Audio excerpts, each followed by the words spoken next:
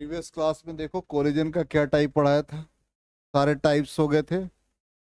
और elastic collision in one dimension का mathematical treatment भी कर लिया था।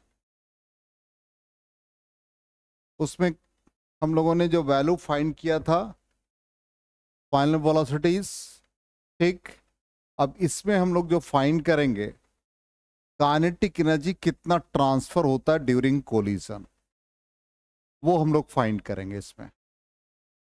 तो नेक्स्ट टॉपिक हमारा वही है। तो सबसे पहले kinetic energy transfer during head on elastic collision कितना कानेटिक एनर्जी का ट्रांसफ़र हो रहा है, ये हम लोगों को फाइंड करना है। तो हमारे पास दो कोलाइडिंग पार्टिकल था। तो इस कंडीशन में सबसे पहले हम लोग बिफोर कोलिजन कानेटिक एनर्जी निकाल लेंगे। तो हम लोगों ने प्रीवियस क्लास में दो कोलाइडिंग पार्टिकल लिया था। एक colliding particle initial velocity u1 mass m1 दूसरे कोलाइडिंग पार्टिकल का initial velocity u2 mass m2 इन दोनों पार्टिकल के बीच कोलिजन हुआ। आफ्टर कोलिजन, एक का वेलोसिटी v1 मास m1 दूसरे कोलाइडिंग पार्टिकल का वेलोसिटी v2 और मास m2 हम लोगों ने ये कंसिडर किया था u1 ग्रेटर देन u2 और यहाँ पर हम लोगों ने कंसिडर किया था v2 ग्रेटर देन v1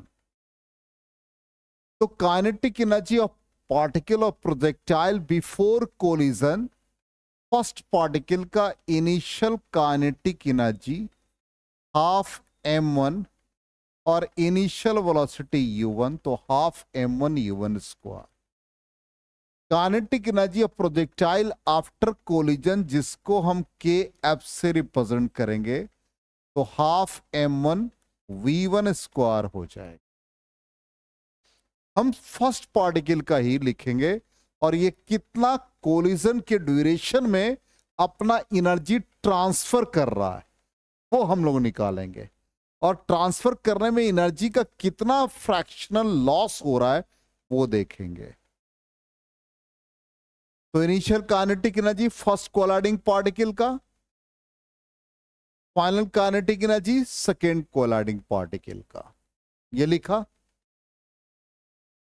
पहला स्टेप। अब कितना एनर्जी ट्रांसफ़र हो रहा है?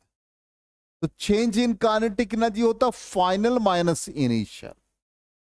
लेकिन यहाँ पर एनर्जी का लॉस है, इसलिए हम लोग लिखेंगे decrease in kinetic energy decrease in kinetic energy का मतलब initial minus final final minus initial होगा तो इंक्रीज इन कानेटिक एनर्जी होगा। यहाँ तो कानेटिक एनर्जी डिक्रीज कर रहा है। तो इनिशियल कानेटिक एनर्जी कितना पार्टिकल का? Half M one U one square final kinetic energy half M one V one square अब इसमें से आप एम वन कॉमन ले लें। तो ये U one square minus V one square हो जाएगा। इतना क्या हो गया? Decrease in kinetic energy delta K से रिप्रेजेंट किया।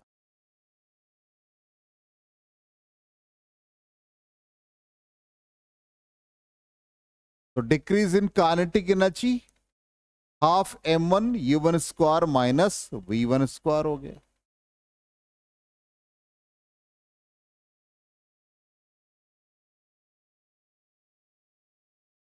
हो गया? अब इसके बाद नेक्स्ट स्टेप में हम लोग फाइंड करेंगे फ्रैक्शनल लॉस तो फ्रैक्शनल लॉस का मतलब या fractional decrease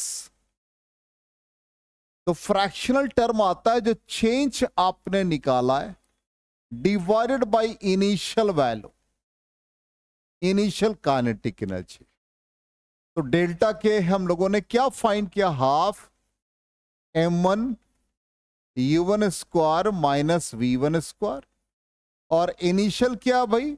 Half M one U one square अब इस क्वांटिटी को डिवाइड करोगे तो half M half M cancel हो गया। U one square minus V one square divided by U one square हो गया।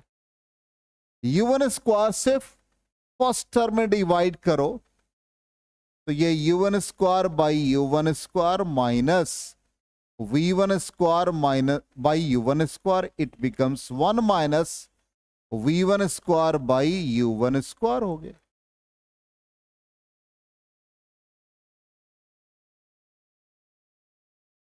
तो वही हमने इक्वेशन वन यहाँ पर लिखा है, जो fractional decrease in kinetic energy को रिप्रेजेंट कर रहा है। Delta K by K fractional decrease in kinetic energy और इसी को हंड्रेड से मल्टीप्लाई कर दोगे तो क्या आ जाएगा? Percentage decrease in kinetic energy ठीक? ये हम लोगों को एक्सप्रेशन दिमाग में रखना है। और इसी बेसिस पर हम लोग आगे बढ़ते तो ये वैल्यू हम लोगों का fractional decrease in kinetic energy आ गया। अब इसी से स्टेप आगे।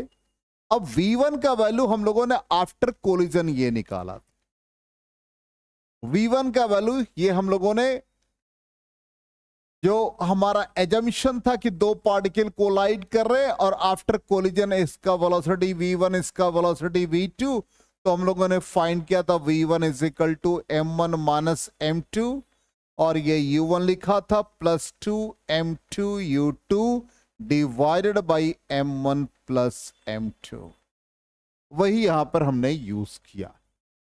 अब कहता है कि सेकेंड पार्टिकल यदि स्टेशनरी है यू टू ज़ीरो है तो इस एक्सप्रेशन में हम सब्सिट्यूट कर दें। U2 टू ज़ीरो कर दिया तो ये बन गया m1 one minus M two U one divided by M one plus M two ये v1 का वैल्यू मिला हम लोगों को। और इसको हम लोग फ्रैक्शनल लॉस में यूज़ करेंगे। After collision, final velocity v1 in terms of initial velocity and masses of the colliding particle मिला। इसको यूज़ कर रहे हैं।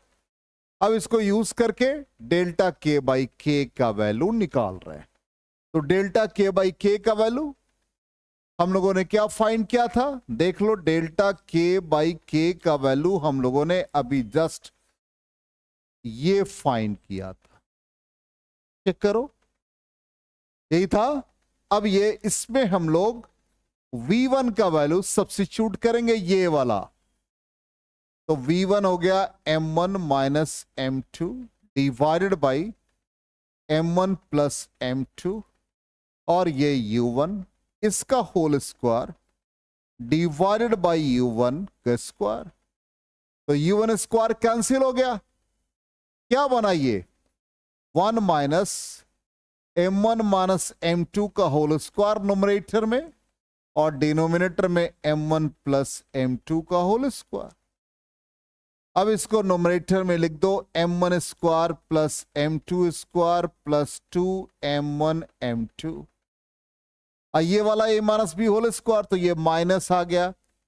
M one square minus M two square और plus two M one M two whole divided by M one plus M two का whole square ये square वाले term cancel हो गए। तो क्या बच गया? Four M one M two इसलिए डेल्टा के बाई के का वैल्यू क्या आ गया? Four M one M two divided by M one plus M two का होल स्क्वायर ये हमारा इक्वेशन थ्री जो भी आप इक्वेशन लिखना चाहे, वो हमने फ़र्स्ट लिखा था। ये सेकेंड हो गया इन टर्म्स ऑफ़ मासेस और इसको जब सिंप्लीफाई करेंगे तो ये थर्ड इक्वेशन हो गया।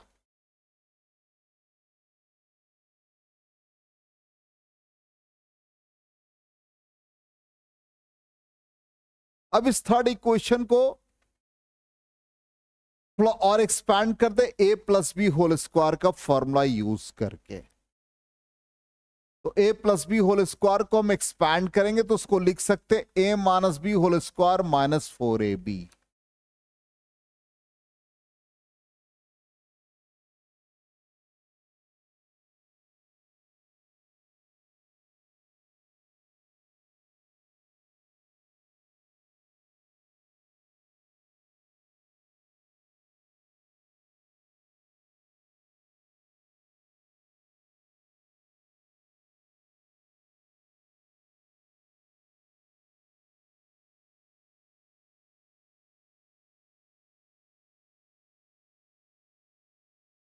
ठीक है? अब देखो, इसको एक्सपैंड कर रहे हैं। यहाँ तक लिख लिया? हाँ हमने ये कहा कि अभी डेल्टा के बाई के का वैल्यू हम लोगों ने फाइंड किया। Four M one M two divided by M one plus M two का होल स्क्वायर अब इसको इस फॉर्म में लिख देंगे। Four M one M two है और A plus B whole square को हम लोग लिख सकते हैं A minus B whole square plus four A B ये बाय मिस्टेक माइनस है, यहाँ प्लस होगा। तो ये इक्वेशन फोर हो गया। अब इसमें हम लोग ये फाइंड करेंगे कि यदि कोलाइडिंग पार्टिकल के मासेस आइडेंटिकल हो जाए तो कितना कानेटिक एनर्जी ट्रांसफ़र करेगा?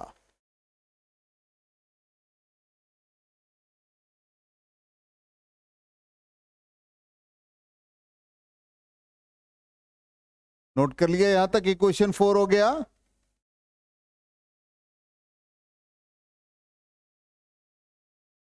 ये प्लस साइन होगा। ठीक। अब जितना ज़्यादा मास का डिफरेंस हो रहा है ऑब्वियसली जितना मास का डिफरेंस होगा, नीचे का क्वांटिटी लार्जर हो जाए तो ये क्वांटिटी लेसर हो जाएगा डेल्टा के बाई के इसका मतलब lesser will be transfer of kinetic energy दूसरा कंडीशन आ जाएगा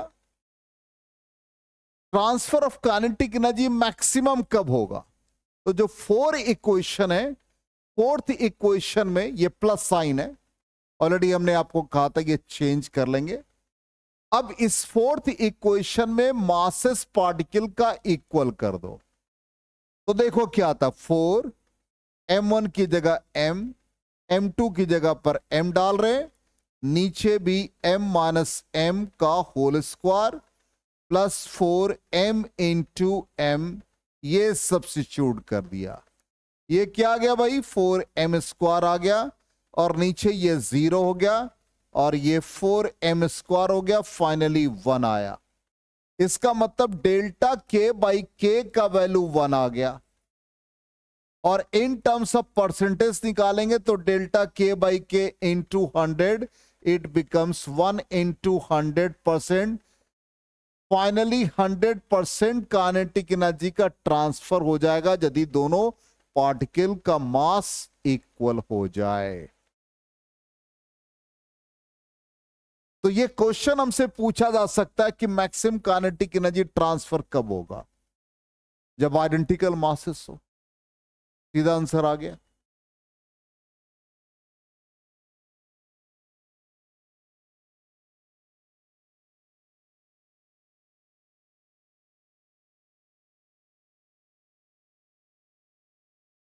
रौनक जी आ रहा समझ में? आ, तो ये ट्रांसफ़र ऑफ़ कानेटिक एनर्जी अब यहाँ पर kinetic energy head on collision ये लेकिन कंडीशन लेकर के चले थे कि टारगेट पार्टिकल स्टेशनरी होगा। तभी ऐसा कंडीशन आएगा। चलिए। अब आ जाए नेक्स्ट टॉपिक है inelastic collision inelastic collision का मतलब क्या है? क्या बताया था परफेक्टली इन एलास्टिक कब होगा? आर्यन? परफेक्टली इन एलास्टिक का कंडीशन क्या था? हाँ? स्मृति।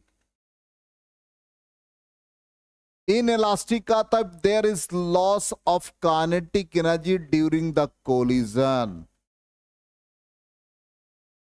तो कंप्लीटली में दोनों पार्टिकल एक दूसरे से चिपक करके कॉमन वेलोसिटी से मूव करेंगे। If the colliding particles stick together and move with common velocity, then the collision is said to be perfectly inelastic collision. इसका मतलब ये दोनों पार्टिकल जो कोलाइडिंग पार्टिकल जिसके different velocities different speed u1 और u2 है अब ये दोनों पार्टिकल क्या करेगा एक साथ हो जाएगा एक साथ हो गया और एक कॉमन वेलोसिटी से मूव करेगा आफ्टर द कोलिशन यही कंडीशन इसका मतलब यहाँ पर एनर्जी का लॉस हो रहा है। हो रहा है? तो हम लोग एनर्जी के लॉस को निकालेंगे। यही हमारा पर्पस होगा। तो मैथमेटिकली वैसे ही चलते इनिशियल क्वांटिटी हमने लिख लिया कि भाई दोनों कोलाइडिंग पार्टिकल सबके मासेस लिख दिया वेलोसिटीज लिख दिया। अब ये दोनों मूव कर रहे फाइनल वेलोसिटी वी कंबाइन लिख दिया। सेम डायरेक्शन होगा as before collision direction of motion में कहीं कोई चेंजेस नहीं है। ठीक? अब मोमेंटम कंजर्व है तो इनिशियल मोमेंटम देखो इसका क्या हो गया। बिफोर कोलिजन बताओ मोमेंटम क्या हो गया इस दोनों कोलाइडिंग पार्टिकल का।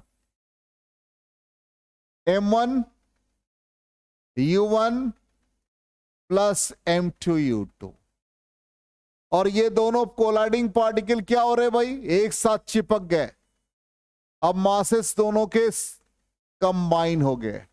वी कंबाइन इसलिए initial momentum is equal to final momentum m one plus m two और वी कंबाइंड यही हमारा इक्वेशन वन आ रहा है।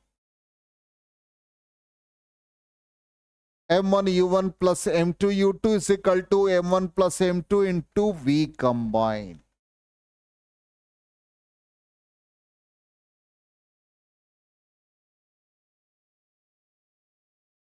तो कॉमन वेलोसिटी या कंबाइंड वेलोसिटी हम लोगों को मिल गया अब इससे हम लोग v कॉमन निकाल लें कंबाइंड निकाल लें तो इसका वैल्यू हो गया m1 u1 plus m2 u2 divided by m1 plus m2.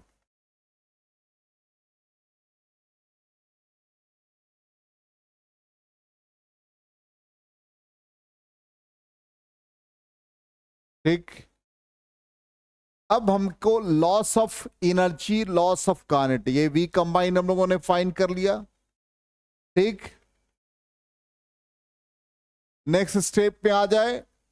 Initial kinetic energy लिखे। बिफोर कोलिजन जो कानेटिक एनर्जी, वो क्या हो गया? Half m one u one square plus half m two u two square और after collision क्या बनेगा? After collision half m one plus m two v combine का होल स्क्वायर तो आफ्टर कोलिजन ये बन जाएगा एनर्जी का वैल्यू ठीक? लॉस का मतलब क्या होगा? इनिशियल माइनस फाइनल तो लॉस ऑफ़ एनर्जी क्या आ गया इनिशियल माइनस फाइनल ठीक रिकॉल कर ले हम लोग एक बार फिर से अपने क्वेश्चन को इनिशियली क्या था ये you one velocity mass m1 ये क्या था u2 मास m2 दोनों का combined velocity common velocity v common initial momentum m1 u1 plus m2 u2 is equal to m1 plus m2 और v कंबाइंड ठीक? अब इनिशियल काइनेटिक एनर्जी इसका? Half m one initial k i लिख दिया? Half m one u one square plus half m two u two square इस वाले का final kinetic energy बताओ क्या हो गया? के एफ़ दोनों का कंबाइन मास तो m one plus m two और वी कॉम हो जाएगा? यही लिखा है initial kinetic energy final kinetic energy अब एनर्जी का लॉस हो रहा है तो लॉस के लिए डेल्टा के लॉस का मतलब initial minus final final minus initial होगा तो क्या होगा? गेन होगा। तो यहाँ तो लॉस हो रहा है। तो इनिशियल हमारा half m one u one square plus half m two u two square हो गया। Minus half m one plus m two और ये v कंबाइंड का होल स्क्वायर अब इसके वैल्यू को हम लोग सब्सिट्यूट करें। और सिंप्लीफाई करेंगे। और रिज़ल्ट फाइंड करेंगे कि क्या रिज़ल्ट आता है।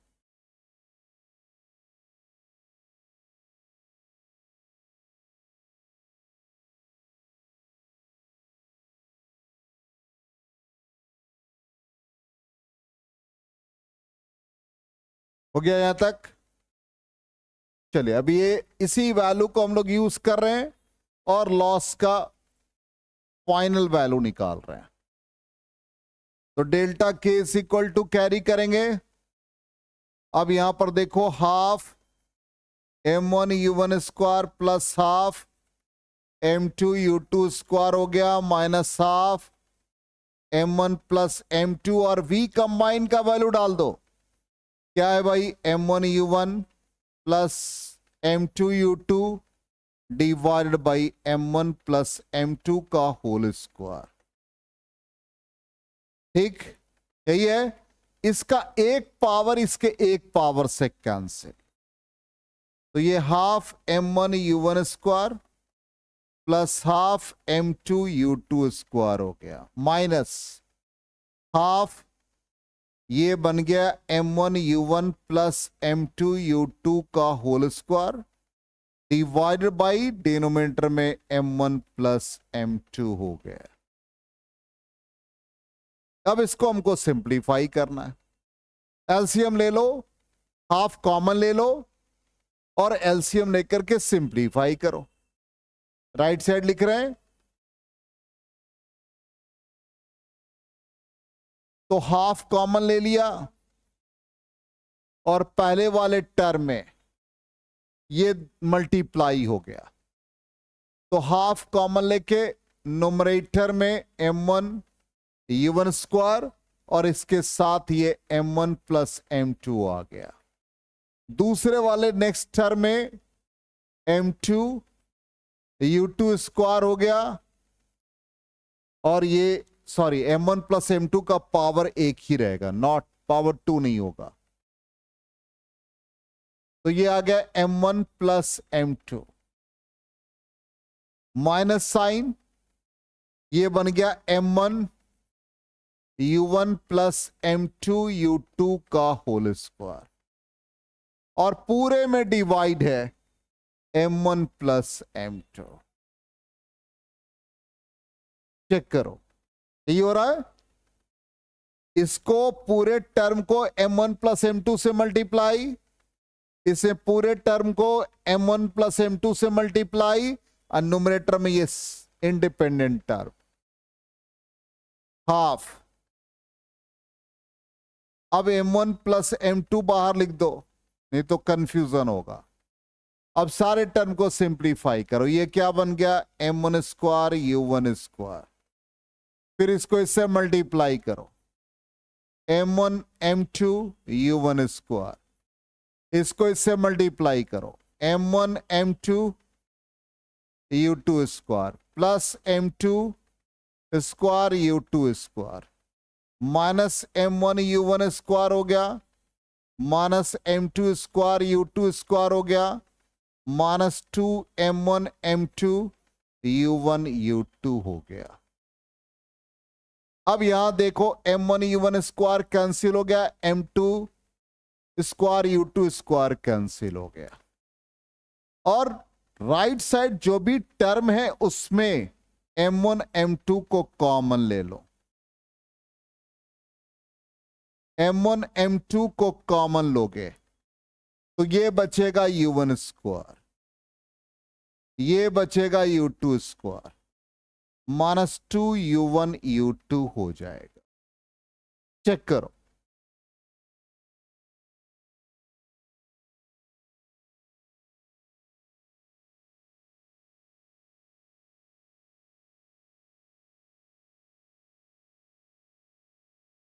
यही आ रहा है रिज़ल्ट हमने एक एक स्टेप को सॉल्व किया। कहीं को स्केप नहीं कर रहे हैं।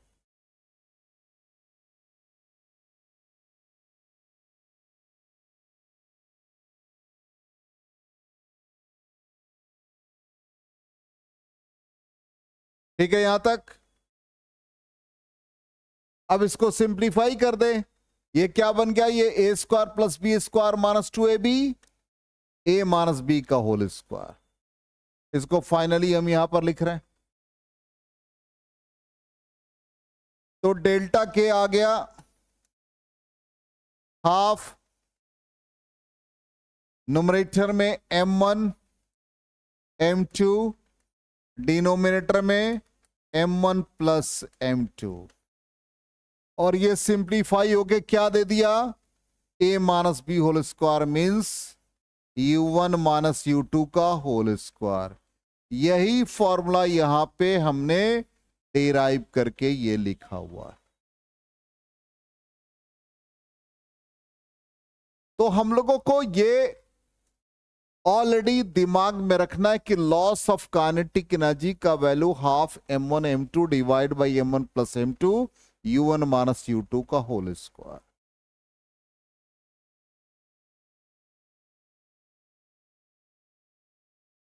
इतना एनर्जी का लॉस होगा in case of perfectly inelastic collision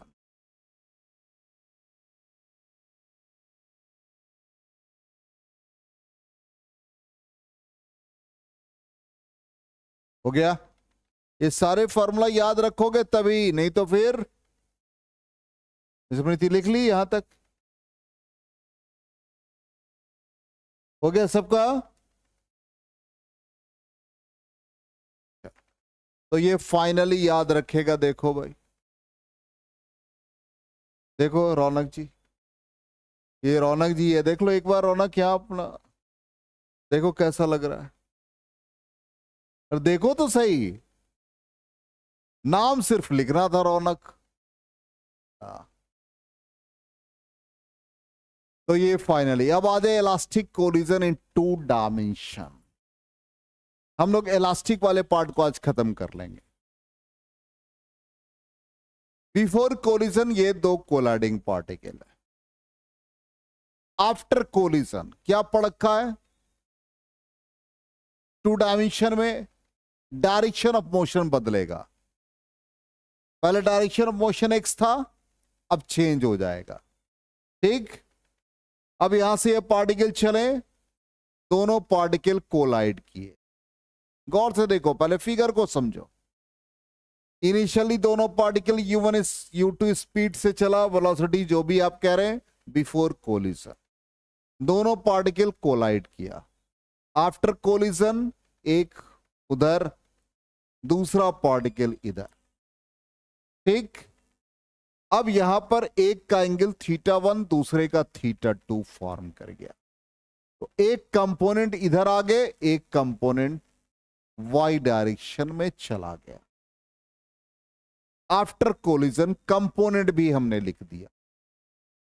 क्योंकि यहाँ पर वेलोसिटी के कंपोनेंट क्योंकि डायरेक्शन ऑफ़ मोशन हमारा इनिशियल क्या था? एक्स था। डायरेक्शन ऑफ़ मोशन हमारा इनिशियली क्या था? एक्स था।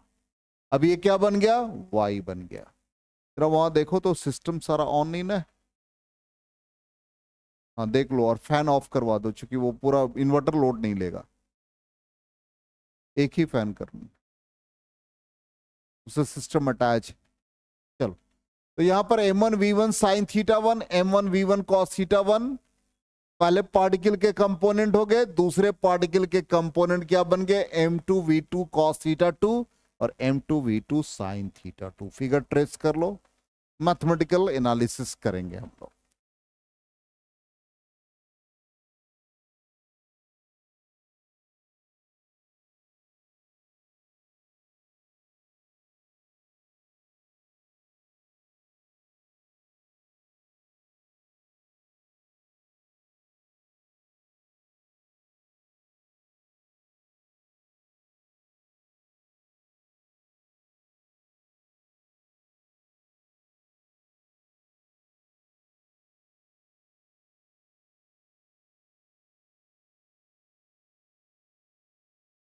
हो गया?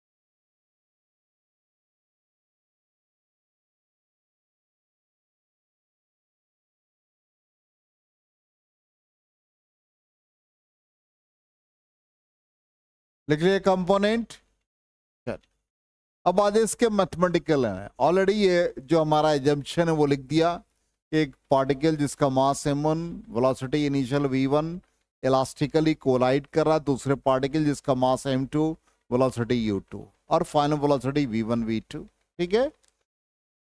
अब ये हमारा कंडीशन है। सबसे पहले हम लोग मोमेंटम निकालेंगे। तो मोमेंटम लोग फाइंड करेंगे इनिशियल मोमेंटम तो ध्यान से देखो मोमेंटम दोनों डायरेक्शन में होगा एक्स में और वाई में. तो इनिशियल मोमेंटम ये है, कितना? Along x axis m one u one plus m two u two x direction में इनिशियल मोमेंटम और फिर ये एक्स डायरेक्शन में फाइनल मोमेंटम तो ये बन गया m one v one cos theta one m two v two cos theta two ये एक्स डायरेक्शन का मोमेंटम हो गया. एलोंग एक्स एक्सिस इसी तरह से एलोंग वाई एक्सिस इनिशियली क्या दोनों कोलाइडिंग पार्टिकल वाई डायरेक्शन में है? नहीं. इसलिए initial momentum in y direction दोनों कोलाइडिंग पार्टिकल का वेलोसिटी या मोमेंटम ज़ीरो आफ्टर कोलिजन एक पार्टिकल पॉजिटिव वाई एक्सिस को फॉलो कर रहा है दूसरा पार्टिकल का कंपोनेंट नेगेटिव वाई को फॉलो कर. रहा तो ऑब्वियसली पॉजिटिव के लिए हम लोग पॉजिटिव लिखेंगे तो m one v one sine theta one minus m two v two sine theta two हो जाएगा। क्योंकि डायरेक्शन क्या हो गया? बदल गया।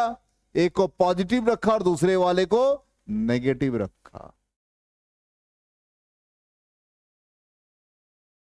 हो गया मोमेंटम तो मोमेंटम के दो इक्वेशन मिलके। अब एनर्जी भी कंजर्व रहता है। तो इनिशियल एनर्जी इसका बताओ कितना हो गया? Half M one U one square plus half M two U two square इस वाले का बता दो यहाँ पर। Final momentum half M one V one square plus half M two V two square हो गया। काइनेटिक एनर्जी भी कंसर्व क्योंकि ऑलरेडी हम क्या पढ़ रहे हैं? इलास्टिक कोलिजन पढ़ रहे हैं।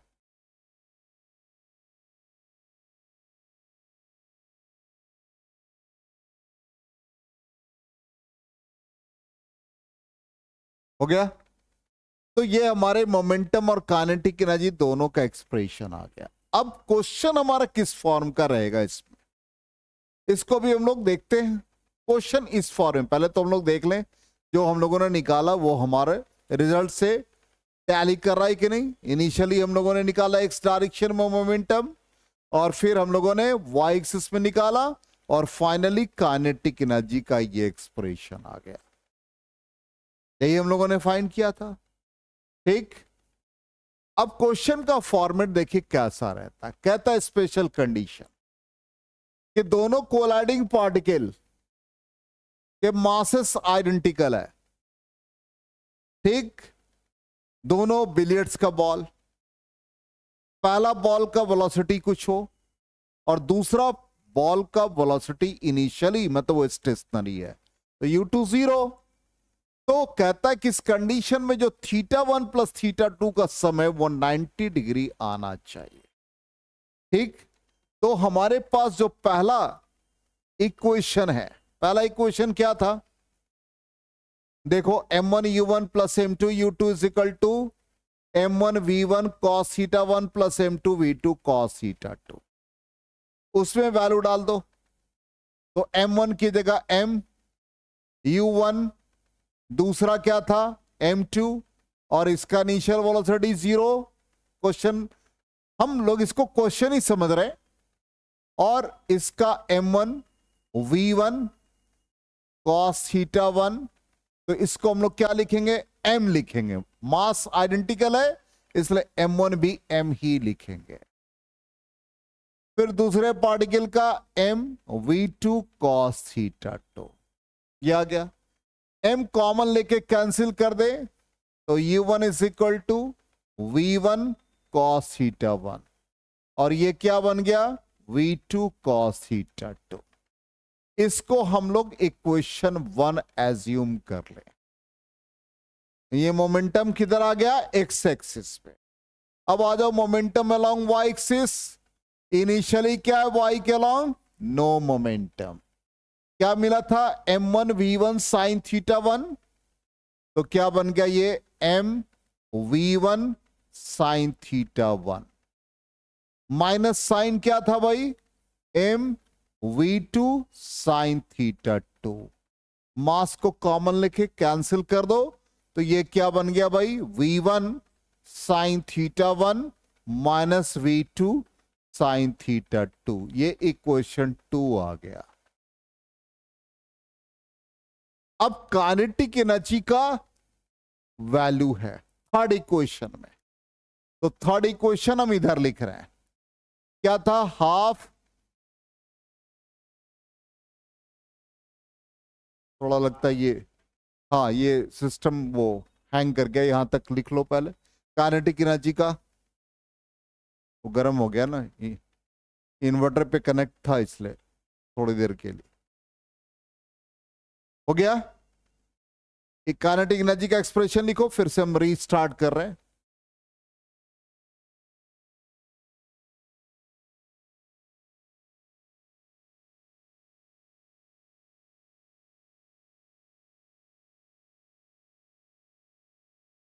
कोई इन्वर्टर से कनेक्ट होता है तो ऐसा ही होता है।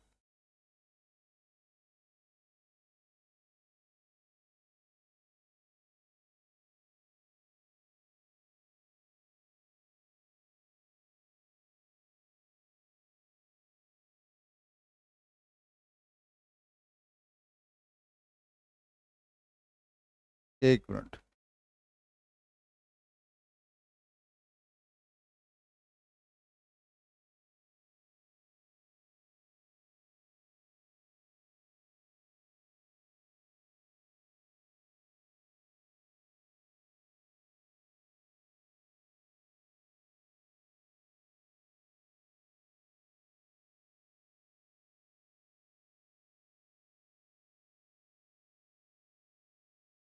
एंड्रॉयड के एडवांटेजेस हैं तो डिसएडवांटेजेस भी हैं।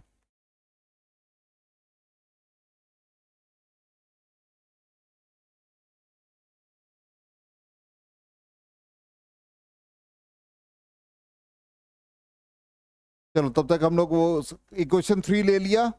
इक्वेशन वन और टू को स्क्वायर करके ऐड करो। इक्वेशन वन और टू को स्क्वायर करके ऐड करो। हम लोग कंटिन्यू कर रहे हैं क्लास को। वन और टू को स्क्वायर करके ऐड करो।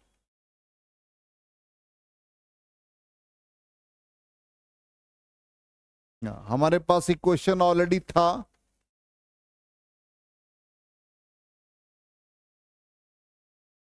तो वन क्या था हमारे पास? जल्दी से बता दो।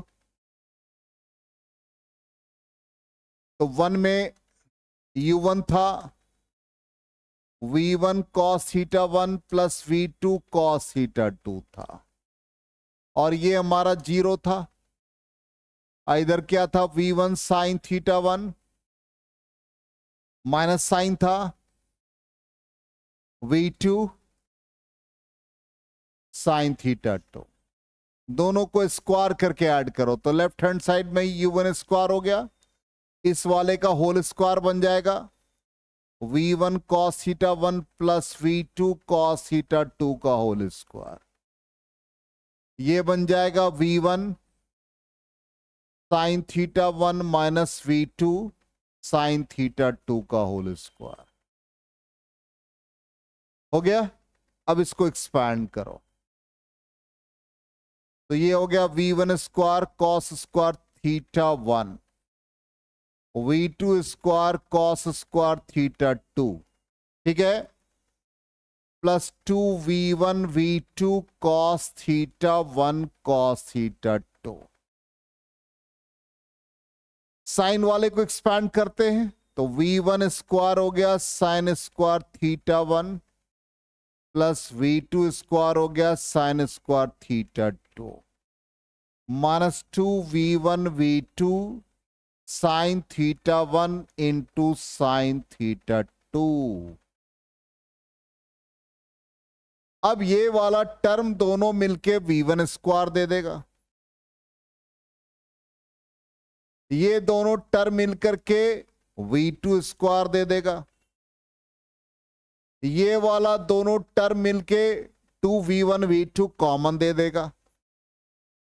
तो two v one, v two common दे दिया। ये आ गया cos theta one cos theta two minus sine theta one sine theta two v one square plus v two square हो गया plus two v one, v two. और ये cos A cos B minus sine A sine B cos A plus B का formula तो ये आ गया cos A plus B means theta one plus theta two का फॉर्मूला तो you one square ये वैल्यू मिल गया। अब थर्ड इक्वेशन क्या है? देखो हाफ़ एम कॉमन लेने के बाद।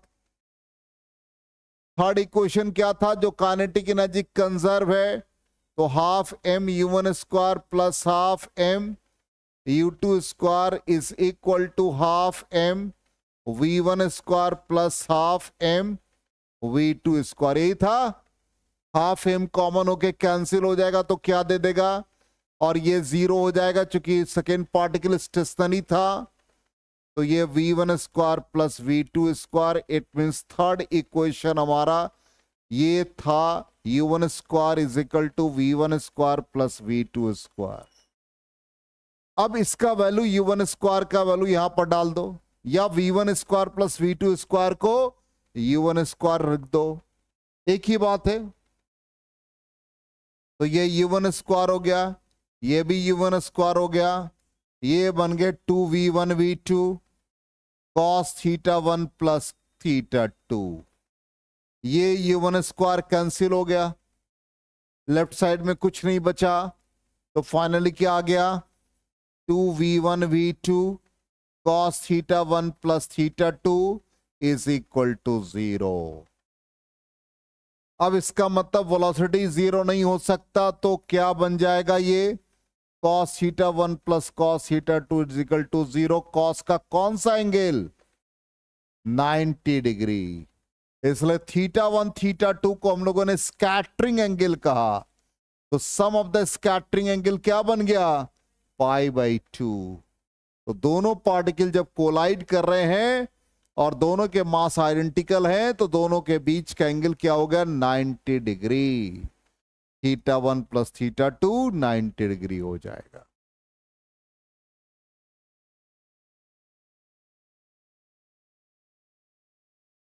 ये बहुत इंपॉर्टेंट क्वेश्चन है।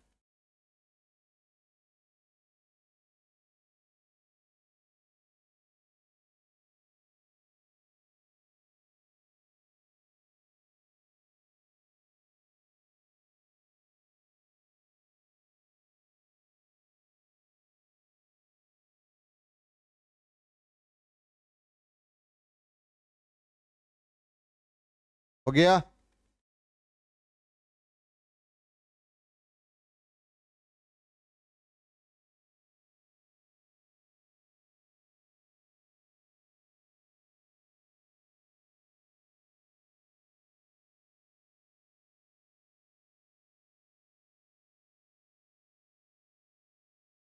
तो फाइनली हम लोग अपने आंसर को वेरीफाई कर लें।